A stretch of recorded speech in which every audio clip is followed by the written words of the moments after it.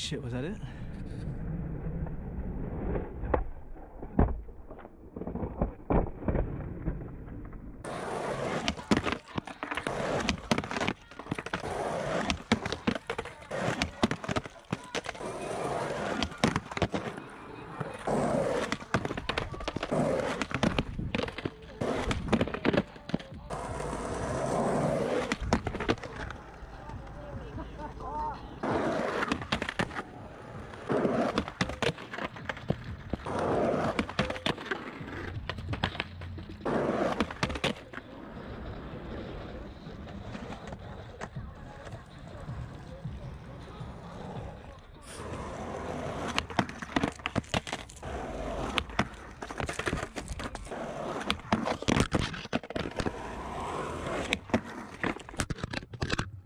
Oh, I just broke my tripod. Oh well, that's fucked. Alright, so the battery's about to run out. It's on 1%.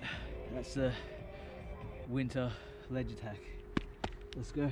Started today's session wanting to do some flip tricks, um, but I thought, you know what, let's go to the ledge.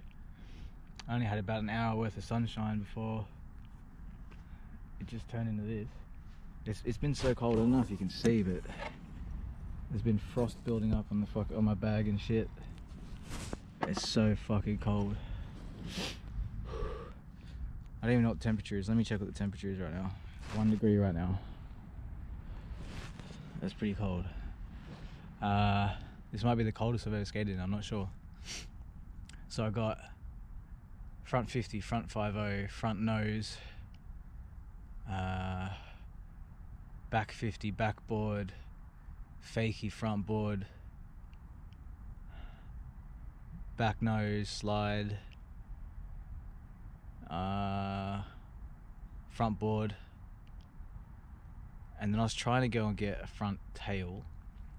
I ended up going in the Suski a lot. I don't know what it is. I'm using different shoes. They're about half a size too big, so I feel like my foot placement feels a bit weird. Maybe I feel like the toe stabbing, but I'm not actually holding the right part of the board. So I gave up on that, and I thought, fuck it. I, I got into Suski a couple times. Let me try Smith, and I think I've been skating so many days now. Was it like 168 days or 169 days? I don't know, 168 days maybe.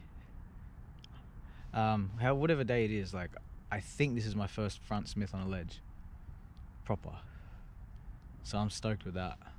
Oh, and trying to land that Smith, I fucking landed into the my tripod and just fucking clapped it.